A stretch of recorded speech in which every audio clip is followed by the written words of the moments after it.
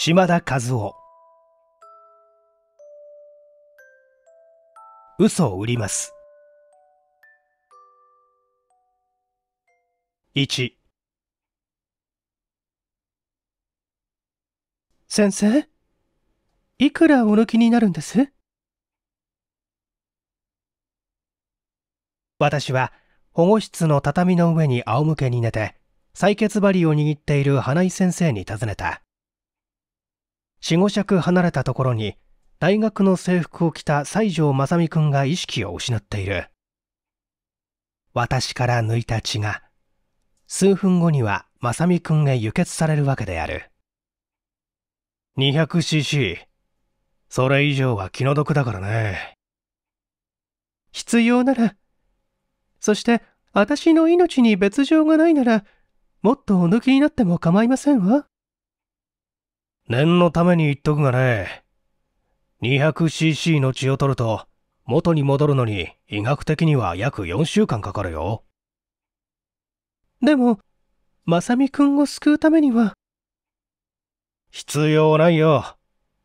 この男にそれ以上君の血を恵んでやることは無意味だよ。さあ済んだ。私の腕から採血機が離れたしばらくじっと寝ていたまえ。考えてみればバカバカしいような話だが放っておくわけにもいかないから輸血してやることにしよう。私は花井先生の言葉にちくりと刺すものを感じた。いつもの花井先生なら病人や怪我人にこんな毒のある言葉はお使いにならない。この男は運がいいよ。ぶっ倒れたのが警察の前だ。しかも最初に助けを起こした牧伝女子が血を分けてやるという。先生？どうしてそんな風におっしゃるんです？花井先生は採血瓶を持って正美くんのそばへ膝をつくとひょいと振り返って私に小さなガラス管を見せてくだすった。シャープペンシルの芯を入れるようなガラス瓶であり、中に黒い粉が入っていた。何ですの？それ。よかったらこの粉を舐めたまえ。血の回復がいくらか早くなる。造血の手伝いだよ。この男が持っていたのだ。まあ、まさみくんは貧血症なのですね。それで、こんなお薬をいつでも持っているんでしょ？お人よしは、ある意味バカだぜ。私のことですか？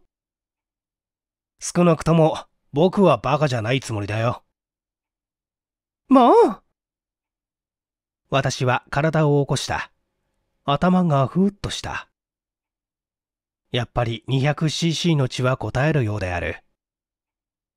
木伝女子、この男の血液が君と同じ大型であるということ、極度の貧血でぶっ倒れたということ、顔色が黄色っぽくて肝臓障害があると判断されること、さらに造血剤の鉄粉を持っていること、これらの点を総合して、この西条正美なる大学生は、職業的な強血商人だよ。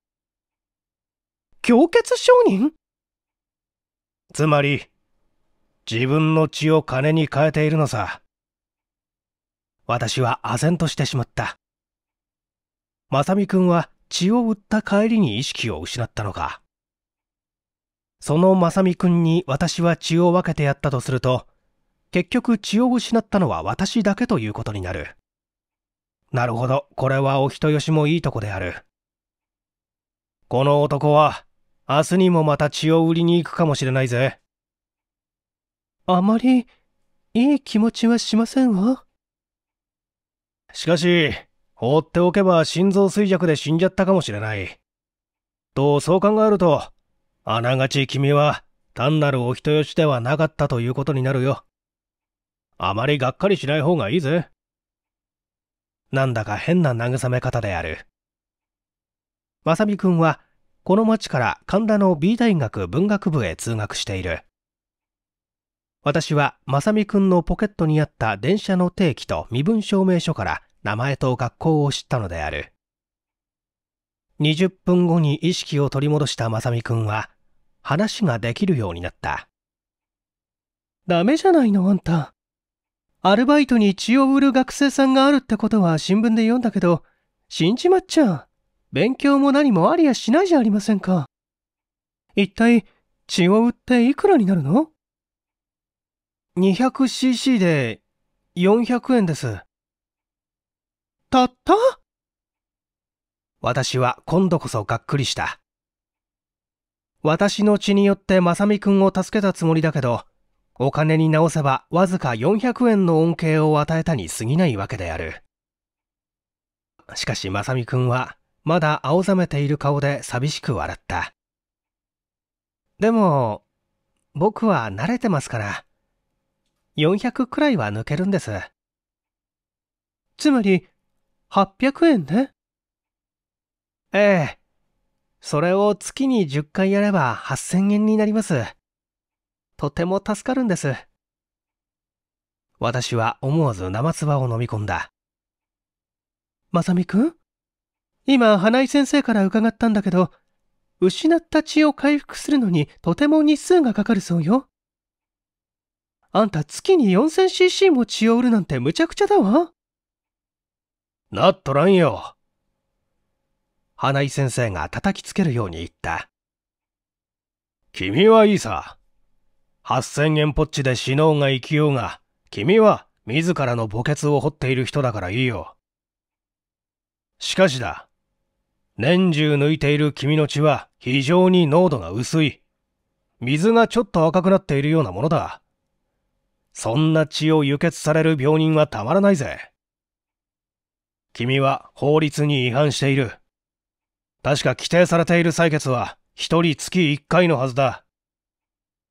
それじゃあ、飯が食えません。学校にも行けません。他に適当なアルバイトがあるじゃないか。いろいろやってみました。みんなダメなんです。血を売るのは最後の手段なんです。もし僕が女だったら。ちっ、パンパンになるのかい。すると、まさみくんが、ちらっと唇の端に薄笑いを浮かべた。もっといいアルバイトがありますよ。ちょっと頭を使えば。でも、男じゃダメなんです。私は思わずまさみくんを見つめた。女にはできないが男にならできるアルバイトというなら話はわかる。だが、女ならできるアルバイトとは何を考えているのだろう。すると花井先生がふっと話をお変えになった。君は運動場脇のアパートに住んでいるんじゃないのかい？ええ、七七層。汚いアパートですよ。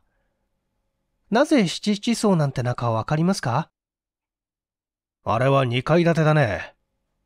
上が7部屋、下も7部屋かい？本当はそうなんです。でも、住人たちはこう言っています。今日も七つや、明日も七つや。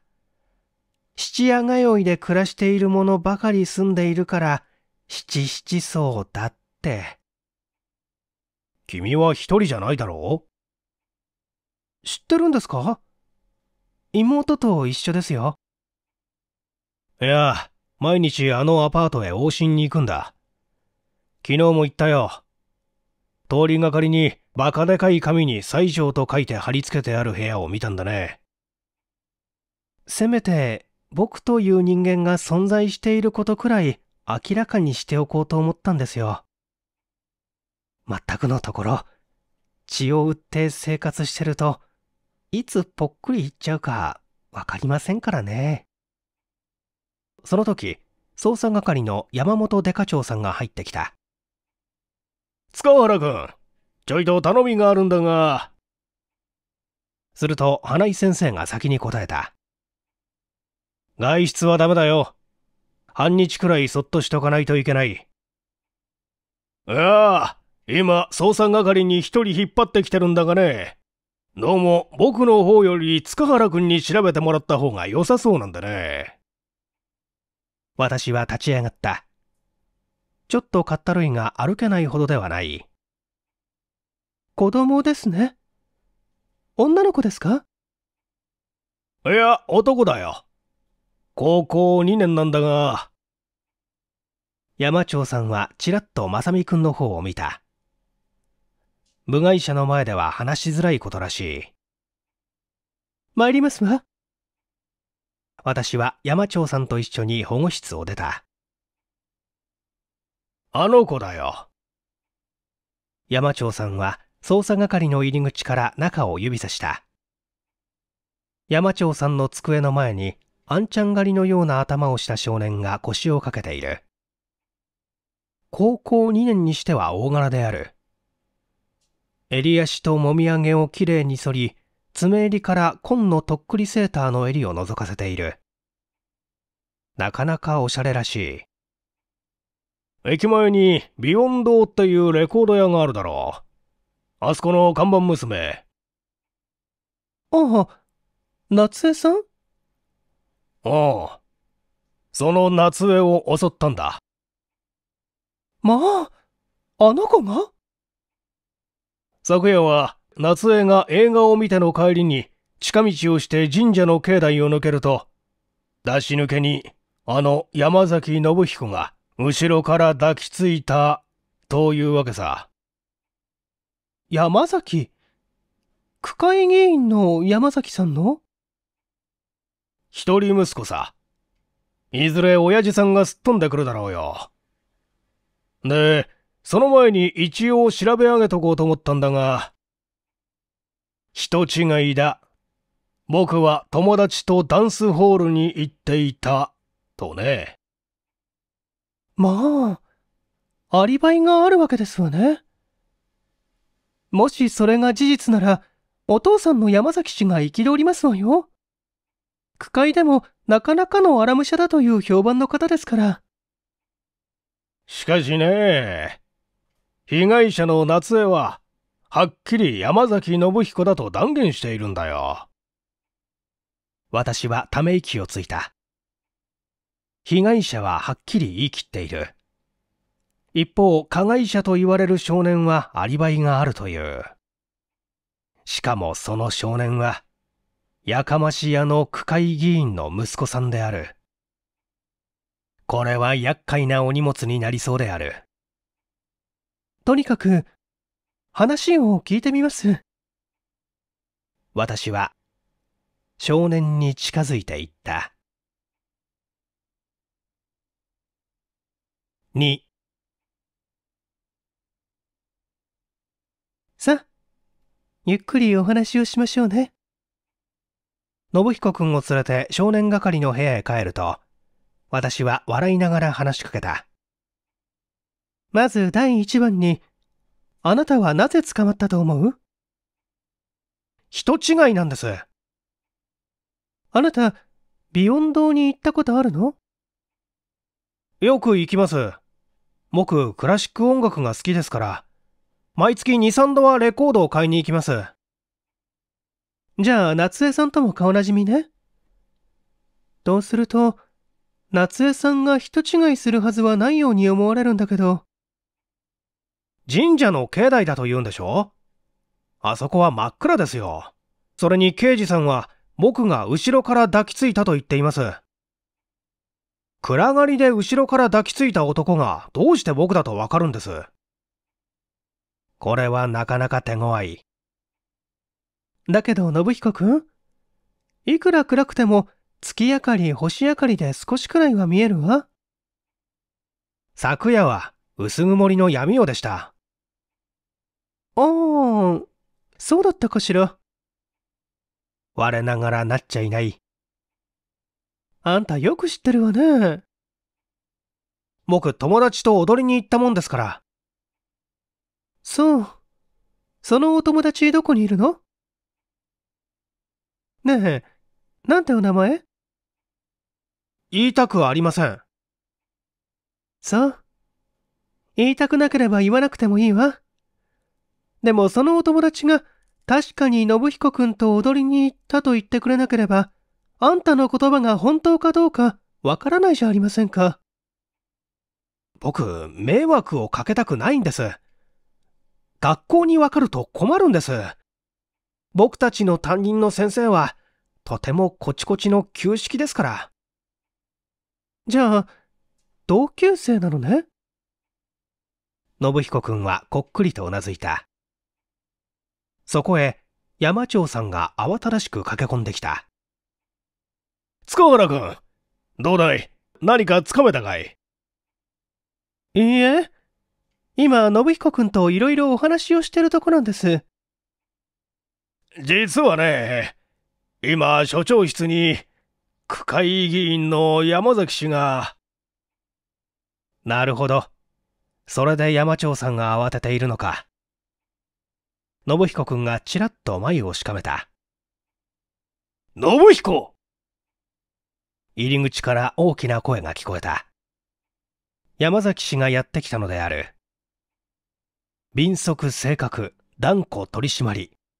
それが口癖の所長さんが苦い顔でお供をしている。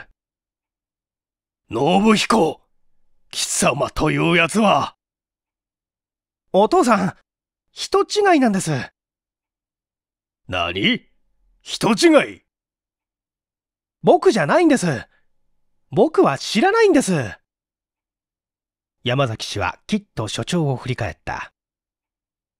所長はあ。けしからんぞ人権蹂躙だぞ真昼の暗黒じゃ人違いでわしの息子を逮捕するとはまだ逮捕しておりませんわ。私はできるだけ落ち着いてそう言った。なんじゃ逮捕しとらん？前途ある若者を警察へ引っ張っといて。お言葉でございますけど、被害者の娘さんは、はっきり信彦さんから襲われたと申しております。そ、そ、それが人違いだと信彦が言うとる。ですから、その間の事情を今お尋ねしていたところですわ。ただ困ったことに、信彦さんは昨夜の行動を明らかになろうとなさいません。山崎氏はピクピクっと髭を震わせて信彦君を睨みつけた。お前は、昨夜も出かけたのか？うん。遊びに行った。バカだれめ。夜遊びをして歩くからこんなことになるのじゃ。どこへ行った？夕方から友達と2、3軒ダンスホールに行った。家に帰ったのは12時頃だったよ。今度は山崎氏が私を睨んだ。これでよろしいかな？信彦の昨夜の行動は以上の通りじゃ。その証明が欲しいんですの。証明？山崎さんも区議会でいろいろとご議論をなさいますからよくお分かりと思いますけど、信彦さんの言葉だけでは困るんです。私どもは、その裏付けが欲しいんです。どうしろと言うんじゃ？信彦さんとご一緒だったお友達とお話をしたいのですけど、信彦さんは、その方のお名前を教えてくださいませ山崎氏は一歩信彦君に近づくと、ぐいっと太い指を信彦君の方へ突き出した。信彦友達の名前を言えさ、最初。私はギクッと顔を上げた。信彦さん？七七層の正美さんですか？違います。妹の方です。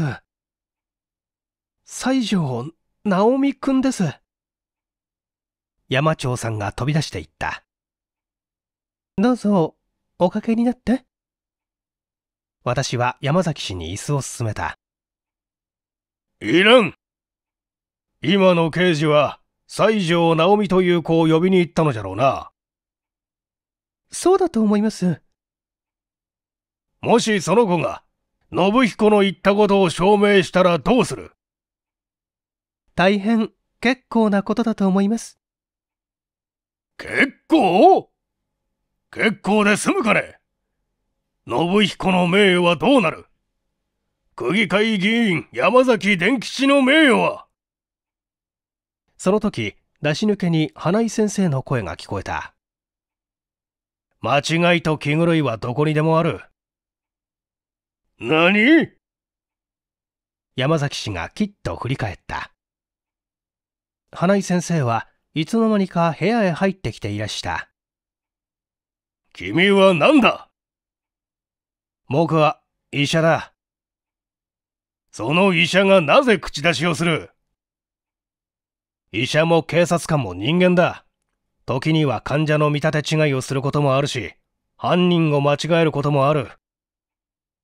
そこの道理を、区会議員山崎伝吉氏に飲み込んでいただきたいと思って口出しをしたんですよ。区会議員さんだってとんだ間違いをすることがあるじゃありませんか。もらうべきでない退職金を先取りしたり、学校の横に怪しげな旅館街ができるのに気がつかなかったり。お、わしは。あなたのことではない。一般論です。山崎氏は東京中の塩を一度に舐めたような顔をして、ドスッと椅子に腰を下ろした。奇妙なことに、この時一番悲しげな顔をしたのは、断固取締孤児の所長さんだった。これはどうしたことであろう。15分もしないうちに山町さんはイノシシのように鼻の穴を膨らませて16、7の少女を連れて帰ってきた。なるほど、まさみくんに似ている。大学と高校の兄弟。まさみくんは妹の直美さんとの生活のために血を売っていたのであろうか。塚原君、直美さんは昨日は昼過ぎからアルバイトの歯ブラシ売りに小田原の方へ行き、帰ってきたのは10時過ぎだったと言っている。直美さんそう叫んだのは信彦君だった。山崎氏はカッと顔を真っ赤にしたが、スーッと空気の抜けた風船のように青ざめていった。お待ちなさい、信彦君。私は信彦君を抑えて直美さんを見た。よく動く目である。そしていつも笑っているような口元である。はっきり言うと私はこんな表情はあまり好きではない。虚無的な正美くんとよく似た人を食ったところがある。直美さん？これは大事なことですから、間違いなく答えてくださいね。あなた、信彦くんとお友達ですね？ええ、同級生です。信彦くんをどう思いますか？どうってことはありませんわ。でも、好きな方か嫌いな方かと言われたら、悪いけど嫌いな方ですわ。なぜですの？信彦さんは、お金持ちのお坊ちゃんらしく、お金の力でお山の大将になりたがり、わがままで、すぐお友達を引っ叩いたりするからです。じゃああなたは、信彦くんと映画やダンスに行ったことはないのですか？一度もありませんわ。また信彦くんが飛び上がった。ひどいよ、直美さん。僕とあんなに約束したのに。私、信彦さんと約束なんかした覚えないわ。だって、直美さん。信彦見苦しいぞ。山崎氏がわめいた。直美さんと言ったな。もうええ。もうええから。帰ってくれ。山崎氏はそう言って頭を抱え、信彦君は下を向いたっきり、唇を噛んでいた。3しかし、変だな。直美さんが出て行って5分ほどしたとき、花井先生が突然口を開いた。僕は昨日の夕方、七七層であの子の声を聞いたような気がするんだが。私は花井先生が、正美くんに七七層のことを尋ねていらっしゃった時のことを思い出した。君は一人じゃないだろう。知ってるんですか？妹と一緒ですよ。毎日あのアパートへ往診に行くよ。昨日も行ったよ。そんな会話だった。先生、直美さんは昼過ぎから小田原の方へ。だけどね、西条と張り紙をした部屋から女と男の声が聞こえたんだ。どうするつもり？そんなことを続けてると今に動けなくなるわよ。仕方がないさ。お前はお前でうまくやれよ。どうだい？俺が考えてやった商売、うまくいきそうかい？そんな話を聞いたんだ。まさみくんとナオミさんの会話らしい気がしますわ。でも。いや、確かに昨夜の声は、今さっき聞いたナオミという子の声だった。河前山崎氏が景色番だ。すると、あの子はここで嘘を言ったことになるわけだな。おい、信彦。お前、本当にあの子とダンスホールに。お父さん、もう、いいんです。僕。バカ者お前、不名誉な暴行未遂犯人となるかならんかの瀬戸際だぞ君、所長、福栄さん、早くあの娘をその時、電話のベルが鳴り響いた。はい、少年係です。私は受話器を取り上げた。え？ほう、私が塚原ですけど。私は聞き慣れない女性の声に首をかしげた。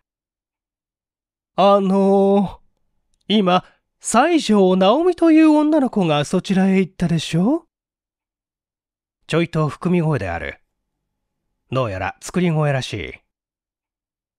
ええ。でも、もうお帰りになりましたよ。あの直美という子は、大変な嘘つきです。え？あなたどなたですの？直美さんからひどい目にあったことがありますのよ。あの人、平気で口から出まかせを言うんです。信用したらいけませんよ。あたし、昨日の夕方ももう少しで騙されてお金をごまかされるところでしたわ。昨日？確かに昨日の夕方ですか？ええ、5時過ぎです。悪い人ですわ、ナオミさんは。じゃ、もしもし？ちょっとが、電話は切れてしまった。ナオミさん、やっぱり昨日の夕方この町にいたようですわ。私は誰にともなくつぶやいた。塚原くん。所長さんが私の顔を覗き込んだ。私が今の密告電話のことを話すと、また山長さんが飛び出していった。今度はサイドカーを飛ばしたらしい。6、7分でナオミさんを引きずるようにして戻ってきた。ナオミさん？私は少女の顔を見つめた。あなた、小田原へ行ったなんて嘘じゃありませんか？ナオミさんはじっと下を向いたっきり返事をしない。はっきり言わんか山崎氏がターンと机を叩いた。まあおかしい。警察官がこんな調べ方をしたら、議員さんたちはたちまち人権蹂躙で騒ぎ立てることであろう。おい、君はうちの信彦に何の恨みがあるんじゃ？お山の大将だの、わがままだのってそれはまだいい。しかしじゃ、今信彦は浮かぶか沈むかの。あたしだって、沈みたくなかったんです。直美さんが驚くほど大きな声で言った。ここで私が、信彦さんとダンスホールを遊び回ってたなんて言ったら、すぐ新聞に出るでしょ？高校生の桃色遊戯って。私たちの学校とても厳しいんです。担任の先生は、今の若い者の気持ちなんかわからないんです。定額か代行ですわ。もしそうならなくても、お友達からきっと変な目で見られますわ。それから直美さんは両手で顔を押さえ、泣きじゃくりながら言葉を続けた。一年経てば卒業ですわ。来年の今頃は就職試験なんです。今新聞なんかに出されたら、とても就職できませんわ。だけどね、ナオミさん。今日のことは、あなたの都合だけで嘘をついちゃいけないわ。信彦君にとっても一生の大事なのよ。だって、ダンスへ行こうと誘ったのは信彦さんじゃありませんか。それくらいの責任は取ってもいいはずですわ。それから、信彦さんはお金持ちのお坊ちゃんですもの。就職なんかしないで、もっと大学へ行くでしょだけど私は働かなきゃならないんです。兄さんと二人っきりなんです。そのうちにはお嫁にも行かなきゃなりません。信彦さんとは事情が違うんです。それほど学校や就職や、それから結婚のことまで心配してるなら、ダンスホールなどへ出入りしなきゃいいじゃありませんか。私にだって高校生活を楽しんでいい権利があるはずです。貧乏な娘は、お友達から誘われてもホールへも行けないんですか？直美さんは突然信彦君に駆け寄ると、ドスンと膝をついて泣き始めた。許してね、信彦さん。私、私嘘をついちゃって。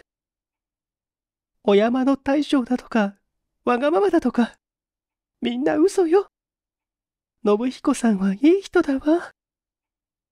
私が貧乏で何もできないから、いろんなところへ連れて行ってくれたのね。ごめんなさい。ごめんなさい。信彦君は呆然として、幾度も生唾を飲み込んでいた。その晩7時過ぎまで報告書のガリ版書きで署にいると、花井先生から電話がかかってきた。今、うちの方へ連絡を取ったら、まだ帰ってこないということだったんで、さすがは僕伝女子。ちゃんと見抜いているなといささか見直したよ。あら、何のことですの？え？君はそこで時間待ちしてるのじゃないのかい？いいえ、当社版の原子を鉄筆で引っかいていますのよ。ち感心して損したよ。先生？わけがわかりませんわ。わかるようにしてやるから出てきたまえ。僕は七七層の近くで待ってる。七七層急いで。それから、人目につかないように。電話が切れた。私は急いで部屋を出た。七七層とおっしゃるからには、もちろん昼間の出来事に関してであろう。しかし、信彦君の事件は一応ケリがついている。ビヨン堂の夏江さんは人違いをしたのだ。その頃、信彦君は、直美さんとダンスホールへ行っていた。私たちはそう考えたのである。こうなるとちょいと難しいよ。真犯人の手がかりが全然ねえや。山長さんはそう言って頭を叩いていた。私たちは、直美さんをはじめ山崎氏の希望によって、絶対に新聞に出ないように気を配ることを約束したのである。ところが花井先生の口ぶりでは、事件はまだ続いているように考えられる。おい、僕伝女子。花井先生の低い声が聞こえた。あらまあ、どうなさいましたの？私は植木の間からネズミのように顔を出していらっしゃる花井先生の姿にびっくりしてしまった。今敵は出かけていったぜ。敵って？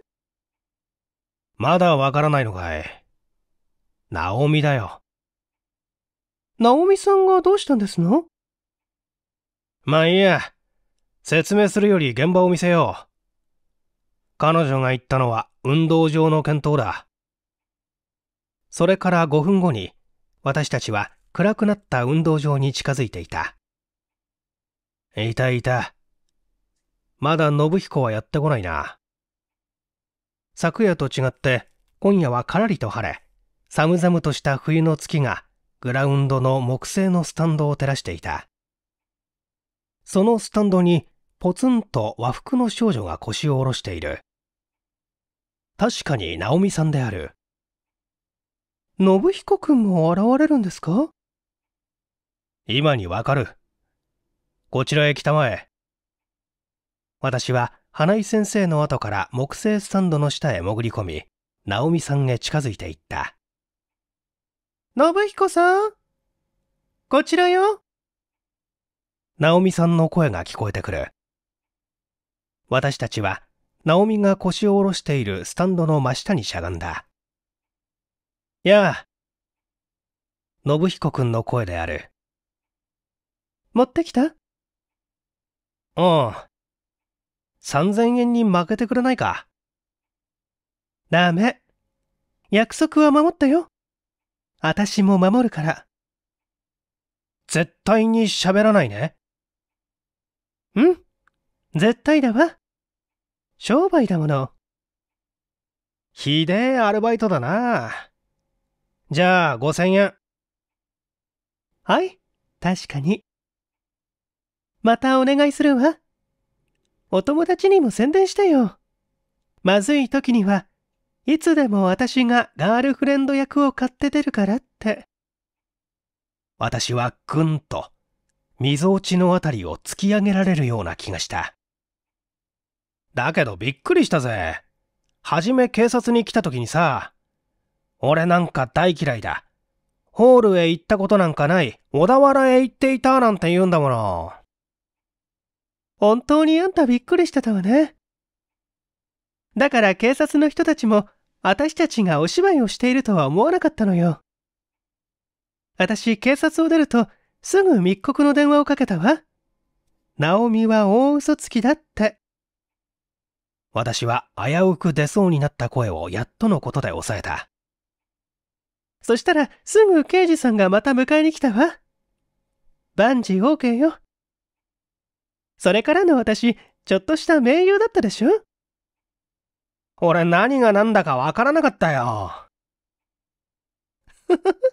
はじめに嘘をついてその嘘を打ち壊し、また別の嘘をつく。とするとね、二度目の嘘は無条件で信用される。それが人情というものさってね。このアルバイトを考えたお兄さんは言ってるわ。じゃ、さよなら。今度用があるときはなるべく早めに連絡してね。お芝居の筋立てを考えなくちゃならないから。直美さんと信彦くんの足音が、右と左へ遠ざかっていった。先生？私はそのままそこへ座ってしまいたくなった。ビヨン島の夏江さんを襲ったのは、信彦らしいな。直美さんは、信彦くんのアリバイ役を5000円で引き受けたわけですね。二度目の嘘は無条件で信用する。なるほど。まんまとやられたな。女なら、もっといいアルバイトがある。まさみくんがそう言っていたのは、このことだったわけですわね。兄は血を売り、妹は嘘を売る。か。私はやっとのことで立ち上がった。先生、どうして直美さんに疑問をお持ちになりましたの？小田原へ行ったなどとすぐわかる嘘をついた。その時に、その時にふっと変だぞと思った。次に、密告の電話が君にかかった。ナオミが君に調べられたことを知っているのは、あの部屋に残っていたものとナオミだけだ。つまり密告の電話は、ナオミ自身でかけてきたことになる。私はこめかみを押さえた。信彦君をどうすればいいでしょう？君のお荷物だよ。ちょいと苦労しなきゃならないだろうな。が、花井先生はスーッと胸いっぱい夜の空気を吸い込み、ふーっと息を吐き出した。凍えた息が白く闇へ散っていく。僕はあの嘘売り娘の心理状態に興味があるよ。信彦君は君に任せる。ナオミの監査は僕が引き受けよう。